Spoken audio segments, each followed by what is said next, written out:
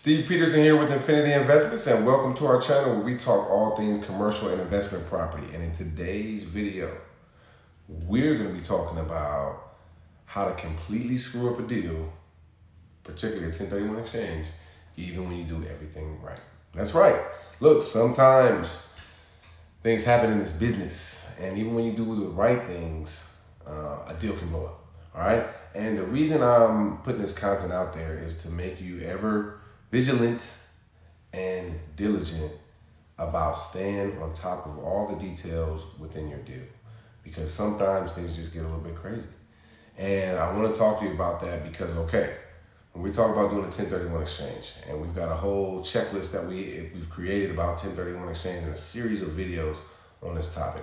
It's a lot, a lot, a lot of moving parts. And you really have to be dialed in and focused to make this thing happen.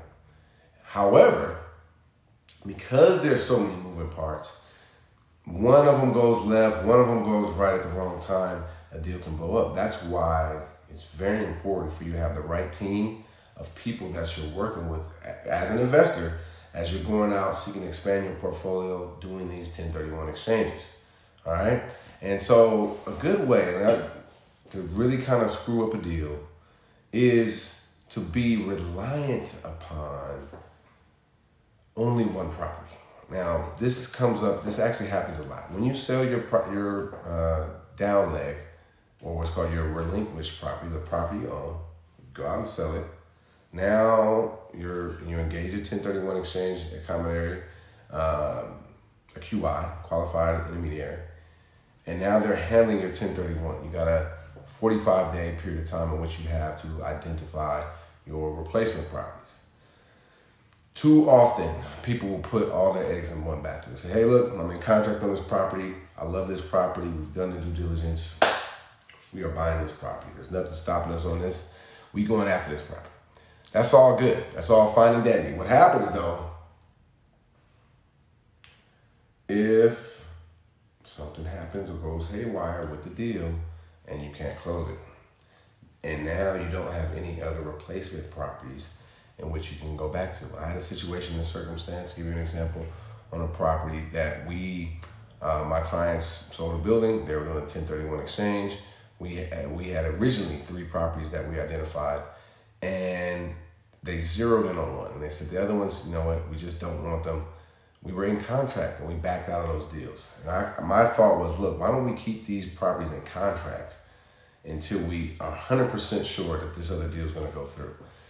And they didn't really want to do that because sometimes you have to keep a property in contract. You have to continue with the due diligence period. You may have to put up an increased amount of a deposit. But it would have ended up being a wise decision because the property that we had zeroed in on, that we knew we wanted, that actually was a great deal, didn't appraise.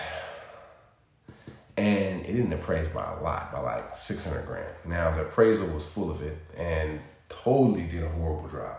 We contested appraisal, we showed comps, we showed cap rate, we showed all of that. We showed the income, uh, uh, you know, the debt coverage ratio was well over, you know, what the appraiser stated. They discounted our income by 25%, um, stating that the neighborhood or the area was, you know, below the poverty line, and somehow they felt like they could discount our income, the actual income, not the projected or pro forma income, the actual income. They discounted by 25%. They used the cap rate from somewhere in the middle of the country, not in Northern California. And so the, the bottom line is the property didn't appraise. Well, the property didn't appraise kind of put us in a tight spot because at that point we had backed out of the other two uh, options against what I was saying, but you know, you got to work with the clients and what they want. The lesson from that that I take and I took from that that I want to impart to you is to keep your options open as much as you possibly can without going non-refundable with your deposit. Now that is understandable. If, if, if, you're looking at some backup properties and they're saying, look, if you want to move forward with this, you need to put up non-refundable money, and you know you really don't want to go with that one, that's kind of a backup, then you got a decision to make. But what I'm telling you is don't put your eggs in one basket. Now another client asked me um, recently, they're for surely, um, we're, in contract on this property that they're, they're exchanging into And we're like 99.9999999 times sure that we're gonna close that deal. However, I still advised him, he said, hey, do you think it makes sense to put a couple backups? I said, absolutely. Absolutely, She should put some backups in there. And and I'm saying this because I've been through the situation that I just explained with you guys. You don't want to be stuck and only have a one property when you can identify up to three. And if you use this, the 200% rule, you can identify more than that, right? But the bottom line is give yourself some options. The next thing to talk about is finance. My previous example where I said it didn't appraise was more so about the appraiser being an absolute idiot. But sometimes in a deal, especially recently, you can get lenders who are complete idiots. Or just look at the end of the day, maybe they're having some problems in their own portfolio. Or maybe they decide they don't like you or they don't like the property in the middle of the escrow right? And I had this last year, it wasn't an exchange, but a listing I was selling, we were weeks away from close, and the lender just came in and decided, you know what? We're gonna drop the loan amount on you guys. We're gonna go from 65% LTV, we're gonna go to 55%. And just because that's what we're lender, that's what we're gonna do. You can imagine that put the buyer in a tough spot. So luckily, I was able, to, as the listing agent, work with him, work with the sellers. We worked it out, and they went. They found a new lender, and they worked it out, and they closed it. Now, I was a listing agent. I was understanding. I was a positive problem solver. A lot of listing agents, they not so understanding and they're not positive problem solvers. They just like, hey, you guys said you were gonna close on this day. It ain't happening. I got three people in backup position. One of them is my client. You're out of here. So let's say they do that on you. Um, that could be that could be bad if you don't have backups, or if you don't have a backup lender that you can ease in there really quickly. Now, you got to have some finesse with this because lenders hate to be shopped.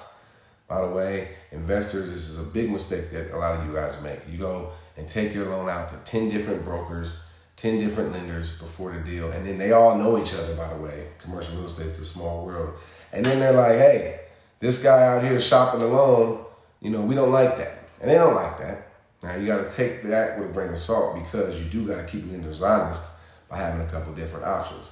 What I'm saying is have some finesse with it. All right, and some, some respect. Don't just have, have a million people looking at your loan and then they all know each other and then you're just, you don't really care about them. They see through that and maybe none of them want to do your deal.